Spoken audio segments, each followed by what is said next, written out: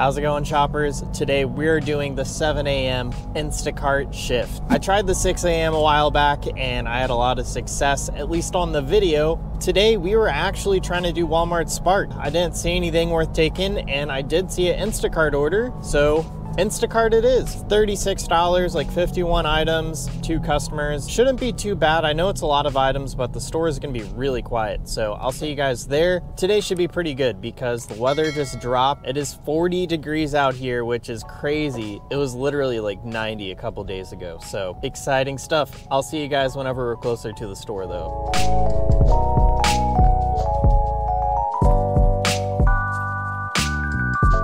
Alrighty guys, so we made it. It is 736. Alright, so this is the smaller order, and here's the bigger order. Has a lot of stuff, so hopefully one cart should be enough. We'll see what happens. Raised by the rain, saved by the pain,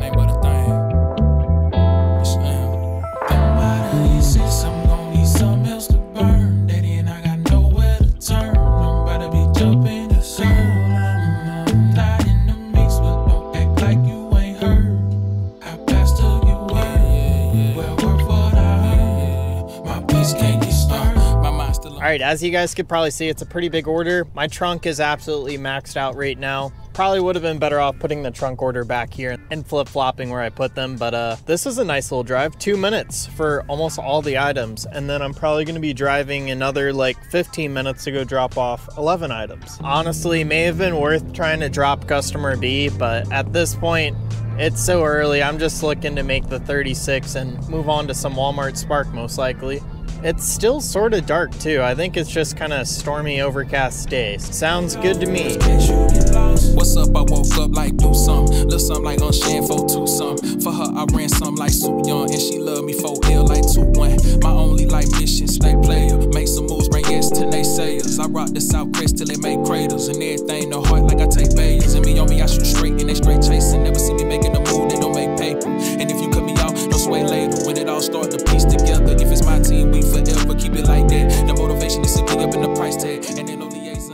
quick pause in today's video. We're going to be talking about some solo updates. I know you guys have heard me talk about them before, but we do have some really cool updates coming out that will really make this app more helpful for gig workers, starting off with their new benefits. So if you guys are on solo, you guys could just go to members perks and you guys could see new earning opportunities up there in the top, what they suggest. Even something new down here called navigate which basically allows you to accrue rewards for sharing information on like your trip. And if you're driving a lot doing gig work, I could see how Navigate could actually be beneficial. So I will be checking that one out. We have health and wellness, insurance, tool equipment, and vehicle apps. And I think you guys know uh, Upside already. That's a nice one. And they've partnered with them. So those are actually some really nice benefits. Let's go ahead and check out the other part of the update, and it has something to do with the pay guarantee. So this is a subscription-based service, and if you guys get a subscription, you guys get access to pay guarantee. And it basically does exactly what I just said. They guarantee your pay. You lock in an hourly rate, and if you make less than that, they will pay you the rest. So before pay guarantee review was on Tuesday and then they would send you the extra money via Venmo or PayPal, but they recently changed it. So I'm gonna quickly read this little blurb just so I don't mess it up. But daily review for all guaranteed hours worked two days prior and any owed payouts will be added to the solo wallet for the worker to control when they transfer. So now they're using the Solo wallet versus just sending it straight to PayPal and Venmo. And whenever I do these updates for Solo, I like to show what cities they've expanded to. So here's a quick list. So anyways, check out Solo in the link down below. If you guys choose to try Solo for a little, you guys could actually earn $10 for signing up which will knock the price down for the subscription. But I do really think that this is worth it, especially with pay guarantee on those slow days. I feel like it's honestly a great earning opportunity for those slow days. So anyways, let's get back into this video. So we just got our next order. It is a $23 Spark order. I just saw a 58 Instacart order flash, so I'm not very happy. That 58 would have hit so hard, but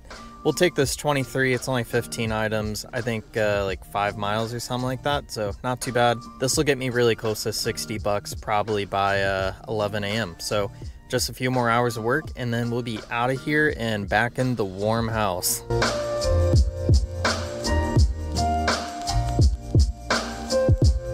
So the order is back there. just trying to uh, record a little easier, so that's why I didn't put it in the trunk there. Oh, I should have gone. What was I thinking? Should have gone again. Ugh. The order was pretty easy to shop. It was very small. A few videos ago, I did talk about the cheaters that were caught using a bunch of phones, and they are still apparently investigating like what's going on there. Anyways, we have nine minute drive not too bad. We're gonna be at 60 a little bit before 11, so that's even better than I thought. It is super windy though. Unfortunately, this morning when I woke up, my Halloween setup was completely destroyed by the 40 mile per hour wind gust. I'll show you guys what it looked like before it got destroyed the sad part is it's been fine until literally last night and tomorrow's Halloween. So after this, I'm gonna try and fix it to get all ready for Halloween. Meanwhile, I'm seeing a bunch of these crazy high mileage orders not doing that. So as I parked, I got another Instacart order. It's $35 and it is a different HEB. It's the one I'm right next to. So this will get me basically right at my goal. I'll be at $95. I may or may not do another order after that, but it's two customers, 29 items, and 13 miles. So still uh, $2 per mile. Realistically, it's closer to $1 per mile when you factor in like the round trip, but it's definitely not a bad order and it's keeping the ball rolling. So I'm already almost to the store. Then hopefully the store is not busy yet because it's only 10:20. So we'll see how the shop goes. No way. No one's even coming.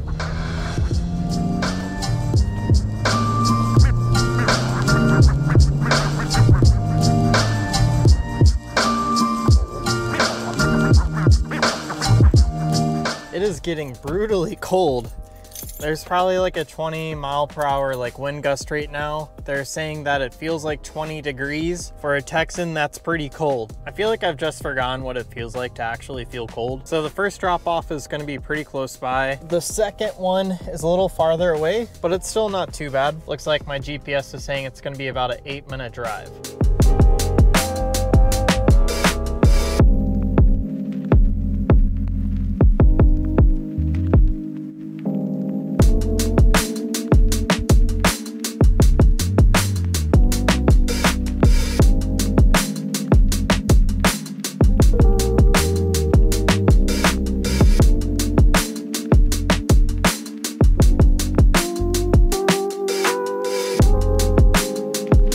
Alrighty guys, weird camera angle because someone's staring at me right now, but I was basically on my way home and I got a $36 spark order going into my neighborhood. So I'm taking that. It's a decent amount of items, 35 in total, but it's perfect because they're miles I'm driving anyway. So that'll put me at 130, basically around like 1215. So that's super sweet. I'll see you guys with the cart full stuff. Another easy order. We have a 12 minute drive and we're gonna be done for the day right around 12.30. Now just keep in mind, we only made $130, but we did start at like 7.30. So we've only been working for basically five hours, made 130. I think that sounds pretty good to me. I would definitely call today a success. We made a good amount of extra side money while not sitting in our car mindlessly waiting for orders. So we kept the ball rolling and I'm pretty happy with that. I will make a video probably pretty soon about what's going on with Instacart because they seem to be copywriting people like myself that show the actual app interface. So something to kind of be looking out for on my channel, but thank you guys for stopping by. I'll see you guys on the next video.